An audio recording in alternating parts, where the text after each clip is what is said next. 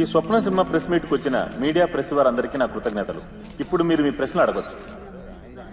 Vignesh sir ఈ cinema వైవిధ్యంగా ఉంటుందన్నారు. అదేంటో తెలుసుకోవచ్చా? హలో. సార్ ఈ రోల్ గురించి ప్రెస్ మీట్లోనే చెప్పేస్తే అంత బాగోదు. ఎందుకంటే సినిమా చూస్తున్నప్పుడు ఆ ఇంపాక్ట్ మిస్ అవుతుంది. ఇట్స్ సస్పెన్స్ థ్రిల్లర్ సో మీరే థియేటర్కి వెళ్ళి సినిమా చూసి తెలుసుకోండి. మేడం ఈ సినిమాలోనైనా మీరు డబ్బింగ్ చెప్తారా? తెలుగు నాకు అంతగా మాట్లాడడం రాదు. But surely I try in future sir మీ గత సినిమాలో బిజినెస్ పరంగా సక్సెస్ కాలేదని ఇండస్ట్రీలో ఒక టాక్ ఉంది. దానికి మీరేమంటారు? సార్ లాస్ట్గా రిలీజ్ అయిన నా సినిమా పేరేంటో మీకు తెలుసా? అదే ఖబర్ మస్త్ హ్మ్. ఆ సినిమా బడ్జెట్ ఎంతో మీకు తెలుసా? అదెంత కలెక్ట్ చేసిందో తెలుసా? ఆ సినిమా శాటిలైట్ ఎంత కమ్మామో తెలుసా మీకు? ఇవేవి తెలుసుకోకుండా ఫ్యాక్ట్స్ లేకుండా తప్పు తప్పుగా మాట్లాడుతున్నారు? సరే వదిలేండి స్వప్నం సినిమా ప్రెస్ మీట్ ఇది.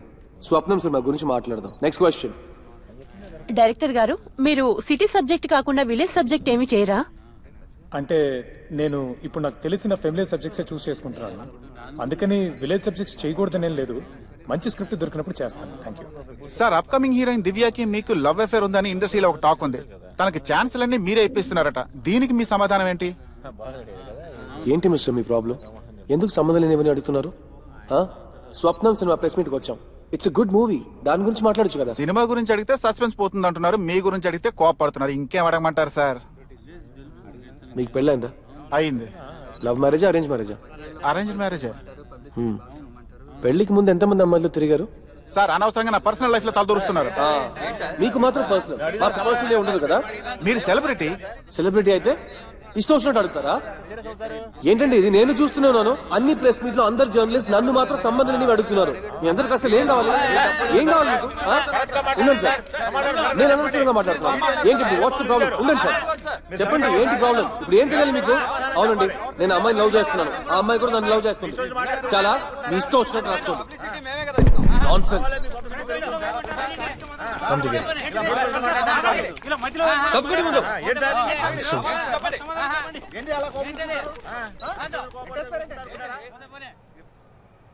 మీరు ఈ థియేటర్లో ఎంతకాలంగా పనిచేస్తున్నారు మూడేళ్ళుగా పనిచేస్తున్నానండి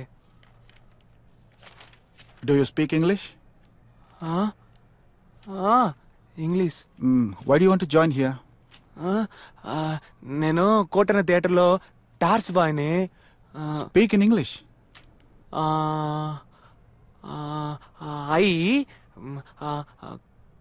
Kotana talkies torch C Kotana Kotana talkies torch సి మా అమ్మ say cinema is like your mother yes యాక్చువల్గా మీరు అక్కడ ఉద్యోగం వదిలేసి ఇక్కడికి ఎందుకు వచ్చారని అడుగుతున్నాను.